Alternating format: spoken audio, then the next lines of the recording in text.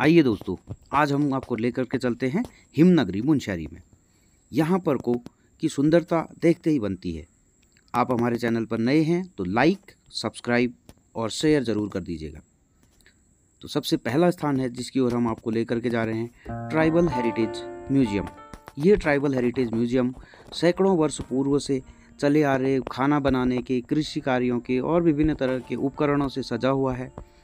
यहाँ पर को लाइब्रेरी में बहुत सारी बुक्स अवेलेबल हैं जो यहाँ के ट्राइबल समाज की सौका समाज के बारे में हमको चीज़ें बताती है। ये म्यूज़ियम यहाँ के ही एक लोकल व्यक्ति पांगती जी, के द्वारा बनाया गया है और इस पर इन्होंने बहुत रिसर्च और अनुसंधान कर किया हुआ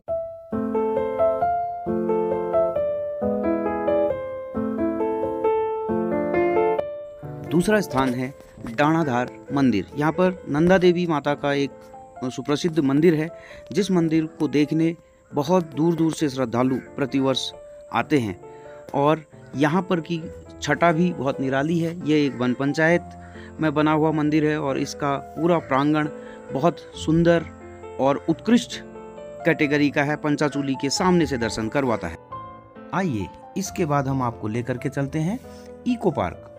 यह एक बहुत ही महत्वपूर्ण और मनोहर स्थान है इको पार्क, जो मुंशियारी शहर से आठ किलोमीटर की दूरी पर, मुंशियारी थल मार्ग पर पातलथौड़ नामक स्थान पर स्थित है। इस पार्क पर यात्रियों के विश्राम के लिए 10 इको हट बने हुए हैं। साथ ही आप टेंट में रहने का लुत्फ भी उठा सकते हैं। इसके साथ ही यहाँ पर थौर नामक एक लाइब्रेरी पर भी है, जहाँ पर हिमालयन जैव विविधता तथा अन्य चीज़ों से संबंधित कई सारी किताबें रखी हुई हैं। एक बहुत सुंदर इंटरप्रिटेशन सेंटर भी है, जो आपको हिमालयन फ्लोरा और फोना का ज्ञान कराता है। यहाँ पर बच्चों के मनोरंजन एवं ज्ञानवर्धन के लिए विभिन्न क्रियाकलाप भी हैं, जैसे बर्मा ब्रिज क्लाइंबिंग रोप झूले, सरोवर वाच टावर आदि। कुल मिलाकर यह स्थान आपकी चेतना एवं बुद्धि को रिफ्रेश कर देगा। इस इको पार्क का निर्माण वन विभाग उत्तराखंड के द्वारा कराया गया था और इसका संरक्षण एवं देखभाल मुंशारी इको विकास समिति करती है, जो इसको बहुत अच्छे से मेंटेन कर रही है। मैं इसके लिए मुंशारी इको विकास समिति के अध्यक्ष श्री ब्रजेश धर्मसत्तू तथा उनकी टीम को बहुत बहुत धन्यवाद देता हूँ।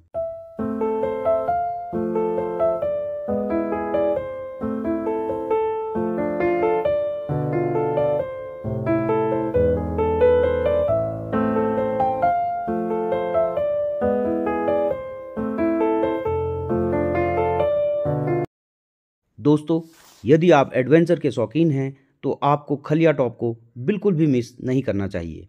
यह स्थान समुद्र तल से लगभग बारह हज़ार पाँच सौ ऊंचाई पर स्थित है, जो लेह से भी अधिक है। वर्षा ऋतु में इस बुग्याल पर जाना मानो स्वर्ग पहुँच जाना ही है, क्योंकि सैकड़ों प्रकार के फूलों से यह स्थान इस दौरान गुलजार रहता है। खलिया टॉप से आप सैकड़ों किलोमीटर दूर तक का 360 डिग्री व्यू देख सकते हैं। यहाँ से पंचाचूली का दर्शन तो असीम आनंद की अनुभूति कराता है।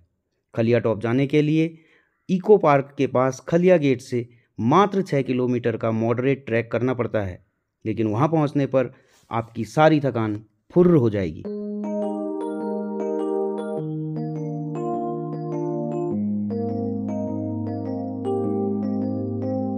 वन विश्राम भवन से मात्र डेढ़ किलोमीटर का ट्रैक कर आप मैसर कुंड या महेश्वर कुंड पहुँच सकते हैं, जो स्थानीय जनता के लिए एक सेक्रेट ग्रुप भी है। इस कुंड की पवित्रता के साथ कई किंवदंतियाँ भी जुड़ी हुई हैं। यह ट्रैक भी आपको नई स्फूर्ति देने वाला साबित होगा।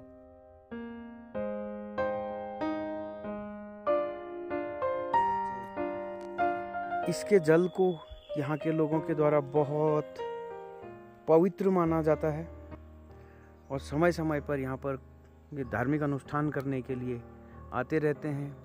मोरू, खरसू के पेड़ों से चारों ओर से घिरी हुई बहुत शांत ये झील आप लोगों को प्रकृति के एक अलग ही चमत्कार से रूबरू कराती हुई। दोस्तों, ये है भारत का पहला लाइकन गार्डन, जो वन विभाग की रिसर्च विंग के द्वारा बनाया गया है। यहाँ पर लगभग 80 प्रजातियों के लाइकेन उपलब्ध हैं। स्थानीय भाषा में इनको झूला या पत्थर के फूल कहा जाता है। इनसे विभिन्न प्रकार के मसाले, कपड़ों को रंगने के लिए डाइयाँ, दवाइयाँ, सनस्क्रीन लोशन आदि बनाए जाते हैं। हैदराबादी बिरयानी तो बिना लाइकेन के बनती ही नहीं।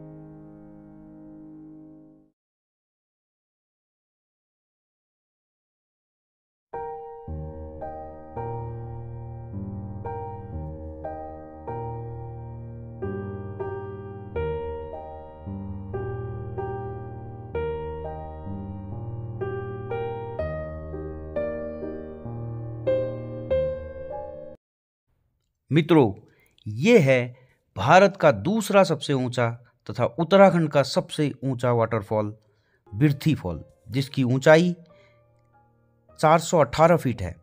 यह जितना ऊँचा है, उतना ही खूबसूरत भी। वर्षा काल में तो इसके जल की फुहारें 300 मीटर दूर तक पहुँच जाती हैं, जो एक मनोरम दृश्य होता है।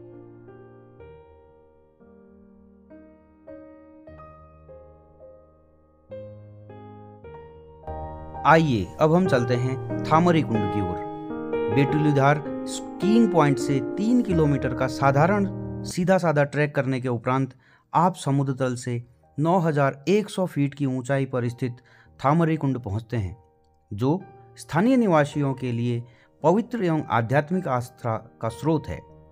लोगों में ऐसा विश्वास है कि इस सरोवर के जल को छूना भी नहीं है।